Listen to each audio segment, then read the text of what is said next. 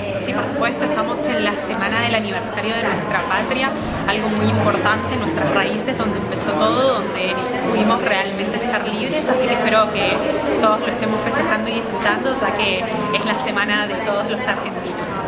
Los invito a todos también a participar mañana de los actos protocolares y del peticón y demás en la Visa 25, que bueno, va a ser nuestro festejo, nuestra fiesta, así que están todos invitados y ojalá participen.